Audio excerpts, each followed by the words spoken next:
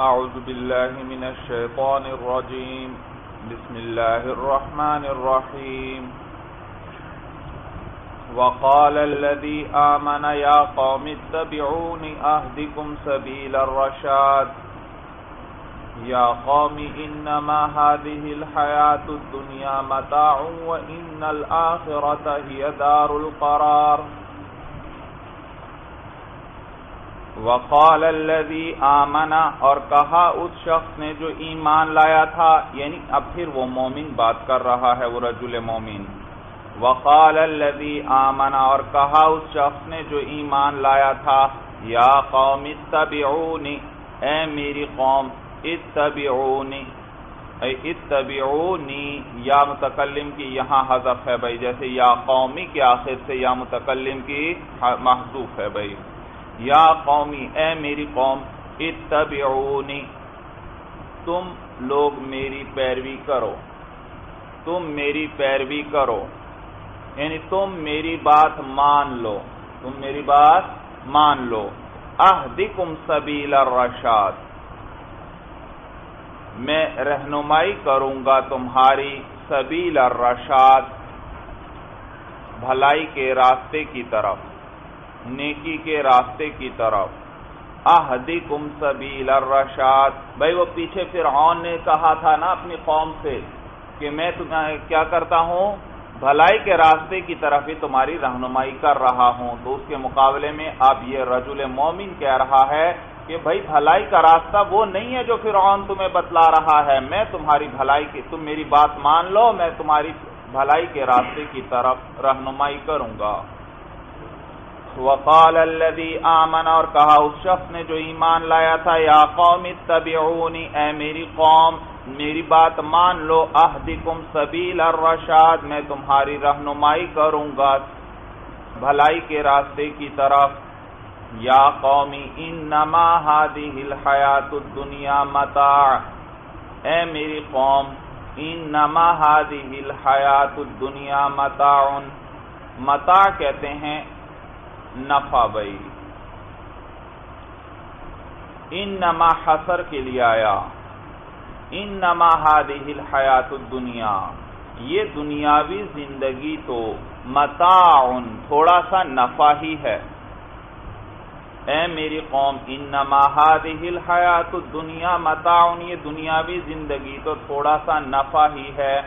یا یوں ترجمہ کر لیں بھائی۔ اے میری قوم، یہ دنیاوی زندگی تو تھوڑا سا مزہ ہی ہے۔ وہ ان الآخرت ہی دار القرار اور بے شک آخرت ہی دار القرار رہنے کا گھر ہے۔ وہ ان الآخرت ہی دار القرار اور بے شک آخرت ہی رہنے کا گھر ہے۔ دار القرار رہنے کا گھر۔ بھائی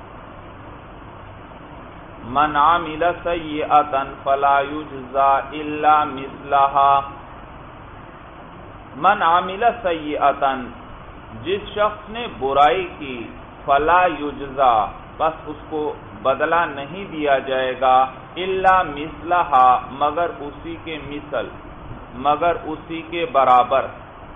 جس شخص نے کوئی برائی کی تو اس کو بدلہ نہیں دیا جائے گا، مگر اسی کے برابر۔ با محاورہ کیا ترجمہ ہوگا؟ ہاں جس شخص نے کوئی برائی کی، اس کو اس کے برابر ہی بدلہ دیا جائے گا۔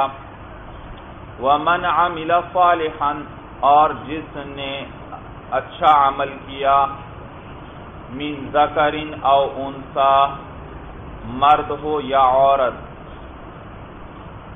ومن عمل صالحا اور جس نے اچھا عمل کیا، نیک عمل کیا، من ذکر او انسا چاہے وہ مرد ہو یا عورت وہ مؤمن، اس حال میں کہ وہ مومن ہو۔ وَأُولَئِكَ يَدْخُلُونَ الْجَنَّةَ، پس وہی داخل ہوں گے جنت میں بس وہی جنت میں داخل ہوں گے۔ يُرْزَقُونَ فِيهَا رزق دیا جائے گا ان کو فی ہا اس جنت میں بغیر حساب، بے حساب۔ رزق دیا جائے گا ان کو جنت میں بے حساب۔ یعنی انہیں وہاں بے حساب رزق دیا جائے گا۔ من عامل سیئتا فلا یجزا الا مثلها جس نے کوئی برائی کی تو اس کو اسی کے برابر بدلہ دیا جائے گا۔ ومن عامل صالحا من ذکر او انسا، اور جس نے اچھا عمل کیا، چاہے مرد ہو یا عورت، اس وہ ہوا مومن جبکہ وہ مومن ہو۔ اس حال میں کہ وہ مومن ہو یعنی کہ جبکہ وہ مومن ہو۔ بھائی، آپ جانتے ہیں کہ نیک عمل جو ہے وہ ایمان کے بغیر کچھ فائدہ نہیں دے گا بھائی آخرت میں۔ ومن عمل صالحا من ذکر او انسا اور جس نے نیک عمل کیا، چاہے مرد ہو یا عورت ہو وہو مومن جبکہ وہ مومن ہو فاولائک يدخلون الجنت پس وہی پس وہ لوگ داخل ہوں گے جنت میں۔ یرزقون فیہا بغیر حساب، وہاں انہیں بے حساب رزق دیا جائے گا۔ وَيَا قَوْمِ مَالِي أَدْعُوكُمْ إِلَى النَّجَاتِ و یا قومی اور اے میری قوم مالی مجھے کیا ہوا؟ مالی مجھے کیا ہوا؟ ادعوکم الى النجاتی میں تمہیں بلا رہا ہوں نجات کی طرف۔ وتدعوننی الى النار۔ اور تم مجھے بلا رہے ہو آگ کی طرف۔ اے میری قوم، مجھے کیا ہوا؟ مجھے کیا ہوا؟ یعنی یہ کیا بات ہے؟ یہ ترجمہ کر لیں با محاورہ۔ یا ویا قومی، اور اے میری قوم، یہ کیا بات ہے؟ ادعوکم الى النجات، میں تمہیں نجات کی طرف بلا رہا ہوں۔ وتدعوننی الى النار، اور تم مجھے آگ کی طرف بلا رہے ہو۔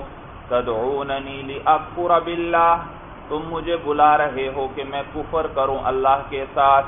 واشرک به اور شریک کروں اس کے ساتھ ما اس چیز کو لیس لی به علم، کہ نہیں ہے مجھے اس چیز کا علم، کوئی علم۔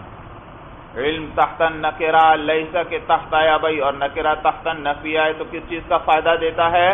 عموم کا فائدہ دیتا ہے، عموم کا۔ نکرا تختن نفی آئے تو وہ عموم کا فائدہ دیتا ہے۔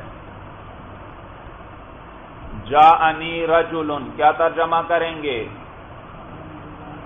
جا انی رجولن میرے پاس ایک مرد آیا رجولن ہے، پیچھے کوئی نفی ذکر ہے؟ تو نکرا آیا اور سیاق اس بات میں آیا نکرا سیاق اس بات میں آئے، تو وہ خصوص کا فائدہ دیتا ہے۔ تو جا انی رجولن رجولن نکرا ہے اور سیاق اس بات میں ہے، پیچھے کوئی نفی والا حرف ذکر نہیں۔ پیچھے کوئی نفی ذکر نہیں، تو مانا کیا کریں گے؟ جا انی رجلن کا۔ آیا میرے پاس؟ ایک مرد۔ اور آپ کہتے ہیں، ما جا انی رجلن، اب نفی لے آؤ۔ کیا ترجمہ کریں گے؟ میرے پاس کوئی مرد نہیں آیا۔ دیکھو، سب کی نفی کر دی۔ یہ عموم کہاں سے آیا؟ یہ جو نکرا تختن نفی ہے بھائی۔ تو یہاں پر بھی دیکھیے بھائی لیسا لی بھی علم علم نکرا ہے اور یہ لیسا کے تخت آیا۔ تو کیا ترجمہ کریں گے؟ کوئی علم نہیں ہے۔ لئی سلی بھی علم نہیں ہے مجھے اس کا کوئی علم یعنی کچھ اس کا علم نہیں ہے جس کو تم مجھے کہہ رہے ہو کہ اللہ کا شریک بنا لوں۔ تدعوننی لاکفر باللہ، تم مجھے بلا رہے ہو کہ میں کفر کروں اللہ کے ساتھ وہ اشرک بھی اور شریک کروں اس کے ساتھ اس اللہ کے ساتھ۔ ما، اس چیز کو لیس لی بھی علم ان کے نہیں ہے مجھے اس چیز کا کوئی علم۔ وانا ادعوکم الى العزیز الغفار، اور میں تمہیں بلا رہا ہوں الى العزیز زبردست الغفار۔ مغفرت کرنے والے، بہت معاف کرنے والے کی طرف۔ وَأَنَا أَدْعُوكُمْ إِلَى الْعَزِيزِ الْغَفَّارِ۔ اور میں تمہیں بلا رہا ہوں، زبردست بہت بخشنے والے کی طرف۔ لا جرما لا جرما یقیناً کے معنی میں استعمال ہوتا ہے۔ لا جرما یقیناً۔ قطعی طور پر۔ لا جرما یقینی یقیناً انما تدعوننی الیہی کہ انما وہ جو تدعوننی کہ تم مجھے بلا رہے ہو الہی اس کی طرف. لا جرما یقیناً انما وہ جو تدعوننی الیہ جس کی طرف تم مجھے بلا رہے ہو. ترجمہ سمجھ میں آ رہا ہے بھائی؟ ما تدعوننی الیہ، وہ چیز جس کی طرف تم مجھے بلا رہے ہو۔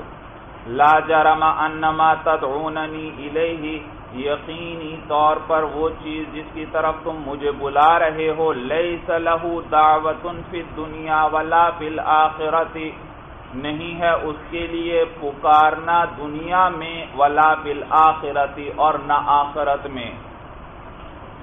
وہ معبودان باطلا بھائی جن کی طرف تم مجھے بلا رہے ہو، نہ ان کے لیے دنیا میں پکارنا ہے اور نہ آخرت میں پکارنا ہے۔ مانا سمجھ میں آیا بھائی؟ دنیا میں بھی ان کے لیے پکارنا نہیں اور آخرت میں بھی پکارنا نہیں۔ یعنی وہ تو بے جان چیزیں ہیں۔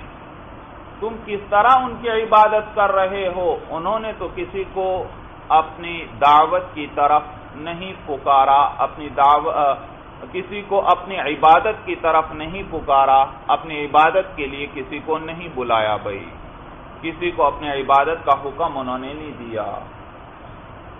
ترجمہ سمجھ میں آ گیا بھائی؟ لیس لہو دعوت فی دنیا ولا فی الاخرہ، نہیں ہے ان کے لیے پکارنا دنیا میں اور نہ آخرت میں۔ یعنی نہ وہ دنیا میں کسی کو اپنی طرف پکارتے ہیں اور نہ آخرت میں بھائی، آخرت میں کسی کو پکاریں گے۔ وہ تو بے جان چیزیں ہیں۔ تم کس طرح ان کی عبادت کر رہے ہو؟ وہ تو نہیں پکارتے اپنی عبادت کے لیے۔ وہ تو نہیں بلاتے اپنی دعوت کی طرف۔ نہ دنیا میں اور نہ آخرت میں بلائیں گے، پکاریں گے۔ مفہوم واضح ہو گیا؟ اچھی طرح؟ اور واضح ترجمہ کر لیں بھائی لئی صلاح دعوت فی دنیا ولا فی الآخرہ نہیں ہے ان کے لیے دعوت دینا دنیا میں اور نہ آخرت میں۔ نہ وہ دنیا میں کسی کو اپنی عبادت کی دعوت دے رہے ہیں اور نہ آخرت میں کسی کو اپنی عبادت کی دعوت دیں گے بھائی۔ دوسرا ترجمہ بھائی لئی صلاح دعوت فی دنیا ولا فی الآخرہ نہیں ہے ان کے لیے پکارنا دنیا میں اور نہ آخرت میں۔ یعنی نہ وہ دنیا میں پکارے جانے کے لائق ہیں اور نہ وہ آخرت میں پکارے جانے کے لائق ہیں۔ ترجمہ دوسرا سمجھ میں آیا بھائی؟ پہلا کیا ترجمہ کیا میں نے؟ نہ وہ دنیا میں کسی کو دعوت دیتے ہیں اپنی عبادت کی اور نہ آخرت میں دیں گے۔ دوسرا معنی۔ نہ وہ دنیا میں پکارے جانے کے قابل ہیں اور نہ آخرت میں۔ وہ ان مردنا اللہ مرد مستر ہے لوٹنا بھائی، لوٹنا۔ وہ ان مردنا اللہ اور ہمارا لوٹنا اللہ کی طرف ہے۔ وہ ان المصرفین اصحاب النار۔ اور حد سے تجاوز کرنے والے ہم اصحاب النار، وہی آگ والے ہیں، وہی دوزخ والے ہیں۔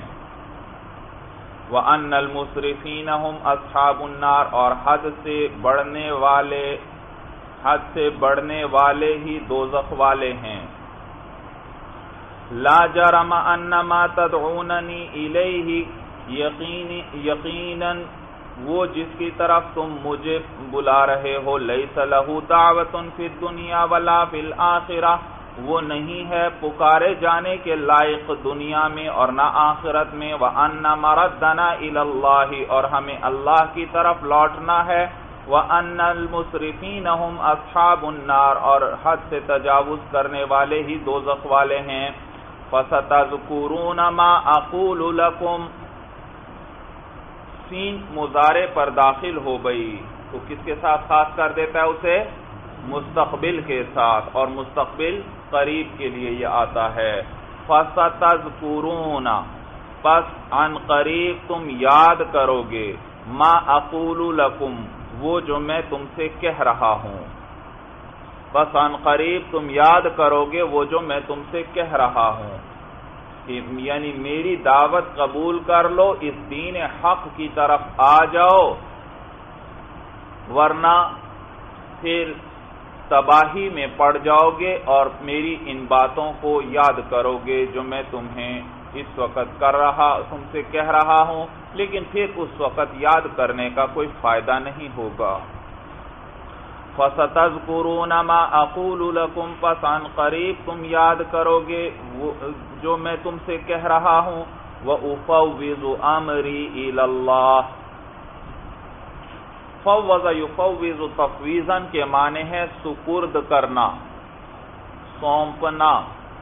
سپرد کرنا، سونپنا۔ حوالے کرنا۔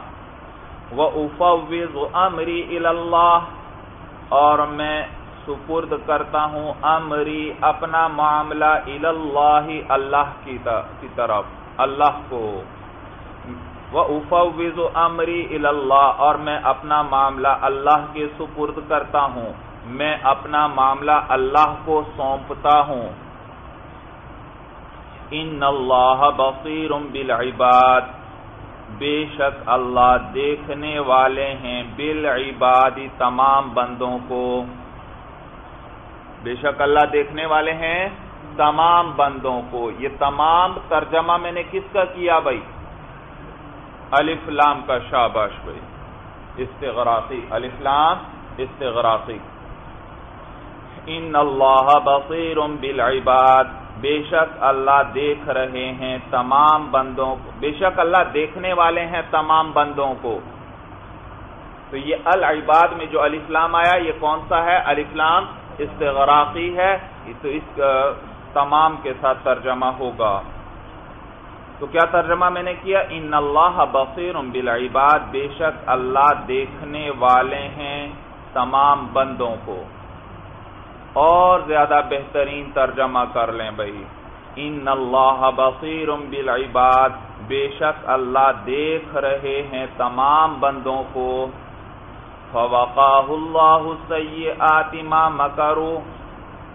وقا یقی کے معنی بچانے کے. فَوَقَاهُ پھر بچا لیا اس کو. یہ ضمیر کس کو راجے ہے؟ بعض مفسرین لکھتے ہیں کہ یہ ضمیر اس رجل مؤمن کو راجع ہے. پس بچا لیا اس رجل مؤمن کو اللہ نے. وہ جو فرعون والے لوگ جو تھے، وہ بری جو تدبیریں کر رہے تھے، اللہ نے اس مرد مومن کو اس تدبیروں سے بچا لیا۔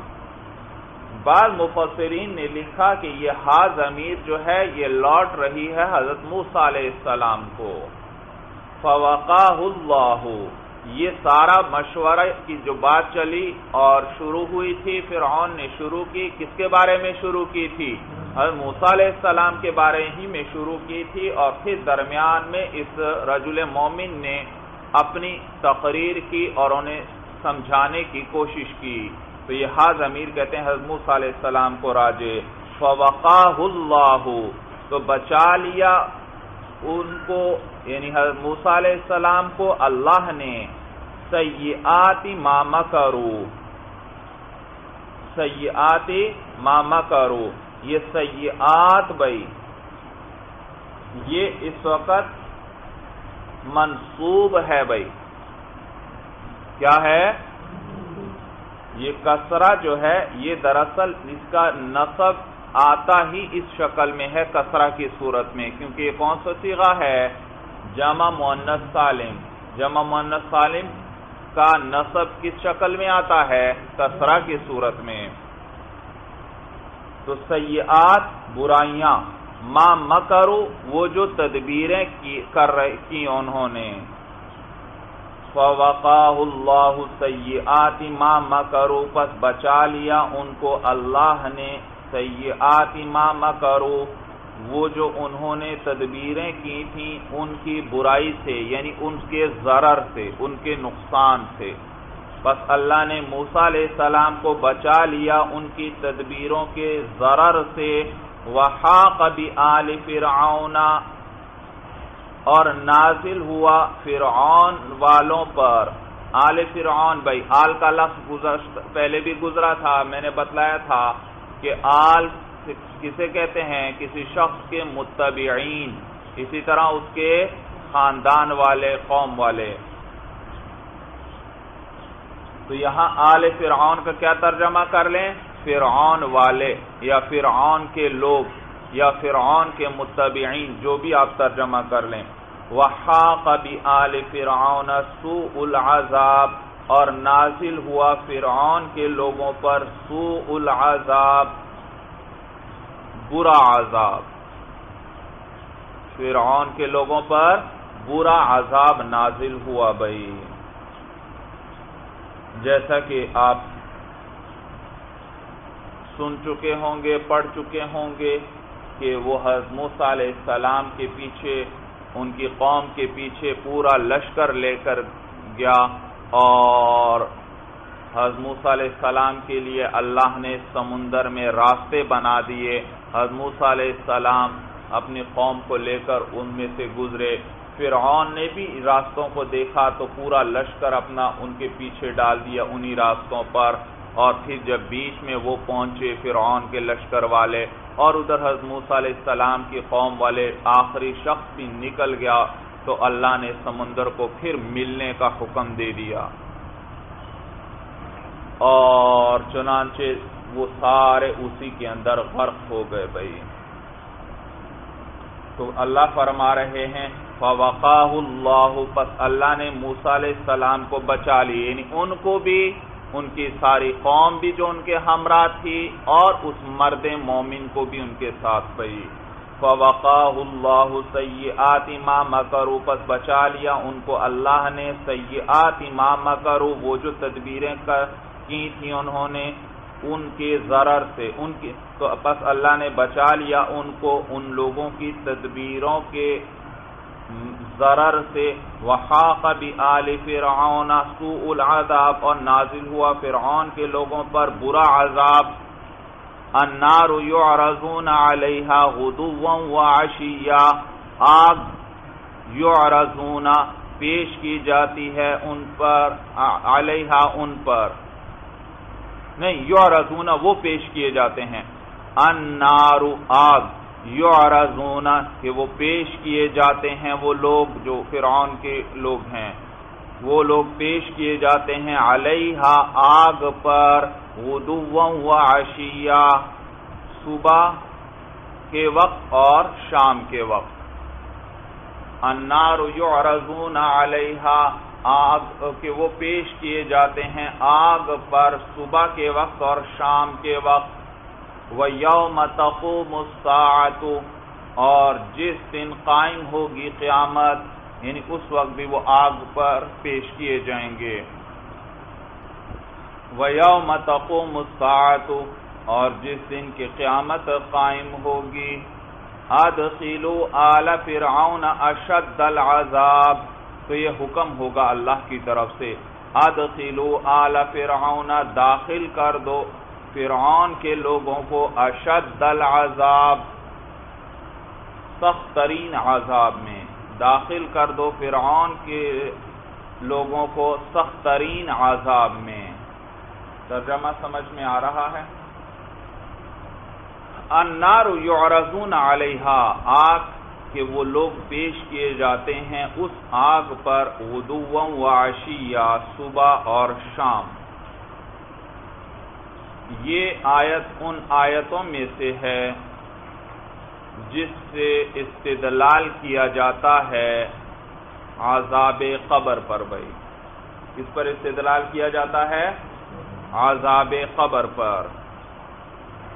کہ اس سے ثابت ہوتا ہے کہ عذاب قبر عذاب قبر برحق ہے۔ وَيَوْمَ تَقُومُ آگے قیامت کا الگ ذکر آ رہا ہے۔ معلوم ہوا اس سے پہلے ہی صبح اور شام ان کو کس پر پیش کیا جاتا ہے؟ آگ پر بھائی یعنی عالم برزخ میں۔ کس میں؟ عالم برزخ میں۔ انسان کے مرنے کے بعد قیامت تک کا جو عالم ہے، اس کو عالم برزخ کہا جاتا ہے۔ مرنے کے بعد سے لے کر قیامت تک کا جو عالم ہے، اسے عالم برزخ کہا جاتا ہے۔ تو ان کو پیش کیا جاتا ہے آگ پر صبح اور شام۔ یعنی صبح اور صبح شام ان کو جہنم میں ان کا ٹھکانہ دکھلایا جاتا ہے۔ یا تو یہ معنی عذاب تو ہے اور ساتھ ان کو جہنم میں جو ان کا ٹھکانہ ہے، وہ بھی ان کو صبح اور شام دکھایا جاتا ہے تاکہ ان کا غم اور بڑھ جائے گئے کہ ابھی بھی عذاب میں ہیں اور آگے بھی سخترین عذاب ہمارا انتظار کر رہا ہے۔ جیسے مومن شخص کو صبح شام جنت میں اس کا جو ٹھکانہ ہے، وہ قبر میں دکھایا جاتا ہے بھائی۔ یا معنی یہ ہے انار یعرضون علیہ کہ وہ آگ پر پیش کیے جاتے ہیں صبح اور شام۔ کہ یعنی آگ کا عذاب دیا جاتا ہے ان کو صبح اور شام۔ اور صبح اور شام کا یہ معنی نہیں کہ صبح کے وقت عذاب دیا جاتا ہے اور پھر شام کے وقت۔ وہ مراد دوام ہے بھائی۔ کیا مراد ہے؟ دوام کہ ہر وقت ان کو آگ کا عذاب دیا جا رہا ہے۔ آگ کا عذاب۔ اور آپ بھی اپنے کلام میں اس طرح استعمال کرتے ہیں۔ دوام کے لیے صبح اور شام کو ذکر کر دیتے ہیں۔ کسی سے مثلا کہتے ہیں کہ بھائی وہ کام تو میں صبح شام کر رہا ہوں۔ کیا معنی ہوتا ہے؟ یعنی ہر وقت میں اسی میں لگا ہوا ہوں۔ وَيَوْمَ تَقُومُ السَّاعَةُ اور جس دن کی قیامت قائم ہوگی ادخلو تو یہ حکم ہوگا ادخلو آل فرعون، اشد العذاب، داخل کرو فرعون کے لوگوں کو سخت ترین عذاب میں۔ وَإِذْ يَتَحَاجُونَ فِي النَّارِ اور جس وقت وہ جھگڑا کریں گے تحاجہ کون سا باب ہے؟ باب تفاعل۔ اور باب تفاعل جانبین سے فیل کو چاہتا ہے۔ تو یتحاجون کا کیا معنی؟ وہ ایک دوسرے سے جھگڑیں گے، آپس میں جھگڑیں گے، باہم جھگڑیں گے، جو بھی آپ ترجمہ کر لیں۔ وَإِذْ يَتَحَاجُونَ فِي النَّارِ اور جس وقت وہ ایک دوسرے سے جھگڑیں گے، آگ میں یا یوں ترجمہ کر لیں۔ اور جس وقت وہ آپس میں جھگڑیں گے آگ میں، فَيَقُولُ الزُّعَفَاءُ تو کہیں گے کمزور، لِلَّذِينَ اسْتَكْبَرُوا، ان سے جو تکبر کرتے تھے۔ ان میں جو کمزور ہیں، وہ جو بڑے تھے جو متکبرین تھے، ان سے کہیں گے، جہنم کے اندر۔ فَيَقُولُ الزُّعَفَاءُ لِلَّذِينَ اسْتَكْبَرُوا، تو کہیں گے کمزور ان سے جو غرور کرتے تھے، انا کننا لکم تبعا، تبع بمانے تابع کے۔ واحد اور جمع دونوں کے لیے یہ اسی طرح تبع کا لفظ استعمال ہوتا ہے۔ تبع کا لفظ استعمال ہوتا ہے۔ سمجھ میں آیا بھائی؟ جیسے آپ پڑھتے ہیں تابعی اور تبع تابعی، تو وہاں یہ وہی لفظ ہے بھائی۔ واحد کے لیے بھی استعمال ہوتا ہے اور جمع کے لیے بھی بمانے تابع کے۔ تو کہیں گے وہ جو کمزور ہیں، للذین استکبروا، ان سے جو غرور کرتے تھے، انا کننا لکم تبعا۔ کہ بے شک ہم تمہارے تابع تھے۔ ہم تو بے شک ہم تو تمہارے تابع تھے، تمہارے پیچھے چلنے والے لوگ تھے۔ فہل انتم مغنون عنا۔ فہل انتم پس کیا تم مغنون عنا؟ کفایت کرنے والے ہو عنا ہم سے۔ اغنا یغنی کے معنی ہوتے ہیں بے نیاز کرنا۔ اغنا یغنی کا کیا معنی ہے؟ بے نیاز کرنا۔ فہل انتم مغنون عنا؟ پس کیا تم بے نیاز کرنے والے ہو؟ بے نیاز کرو گے عنا۔ ہم سے یعنی کیا تم کفایت کرو گے؟ عنا، ہماری طرف سے نصیبا من النار۔ ایک حصہ من النار آگ میں سے۔ یا یوں ترجمہ کر لیں۔ فہل انتم مغنون عنا؟ پس کیا تم کافی ہو جاؤ گے عنا ہماری طرف سے؟ نصیب من النار آگ کے حصے سے۔ ہم وہ بھائی ضعیف کہیں گے تک غرور کرنے والوں سے کہ دنیا میں دیکھو، ہم تمہارے پیچھے چلا کرتے تھے ہر بات میں۔ اور تمہارے پیچھے چلنے ہی نے ہمیں یہاں تک بھی پہنچایا۔ تو کیا تم اب ہم سے آگ کا کچھ حصہ دور کر دو گے؟ خود اپنے اوپر لے لو گے اس کو۔ فہل ان تم مغنون عنا نصیبا من النار۔ پس کیا تم دور کر دو گے ہم سے آگ کا ایک حصہ؟ قال الذین استکبروا کہیں گے وہ لوگ جنہوں نے غرور کیا، جنہوں نے تکبر کیا، انا کل فیہا بے شک ہم سب اسی میں ہیں۔ وہ کیا کہیں گے تو غرور کرنے والے؟ کہ بے شک ہم سب اسی جہنم ہی میں ہیں۔ ان اللہ قد حکم بین العباد۔ بے شک اللہ تعالی تحقیق، فیصلہ فرما چکے تمام بندوں میں۔ بے شک اللہ تعالی فیصلہ فرما چکے تمام بندوں میں۔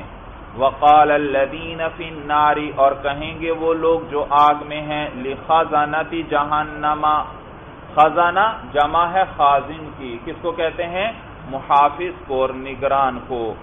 تو وہ کہیں جو، وہ کہیں گے وہ لوگ جو آگ میں ہیں لخزانتی جہنم جہنم کے نگرانوں سے ادعو ربکم کہ تم دعا کرو اپنے پروردگار سے، یخفف عنا، خفف، یخفف کے کیا مانے ہلکا کرنا۔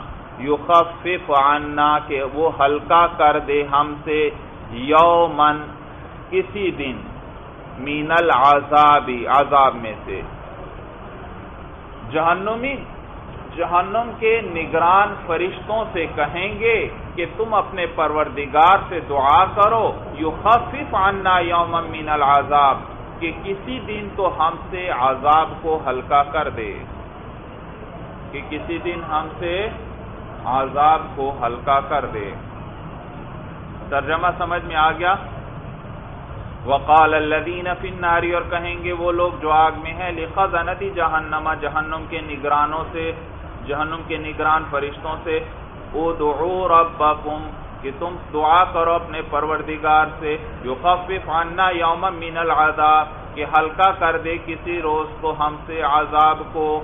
قالو، وہ کہیں گے، اولم تک تاتیکم رسلکم بالبینات۔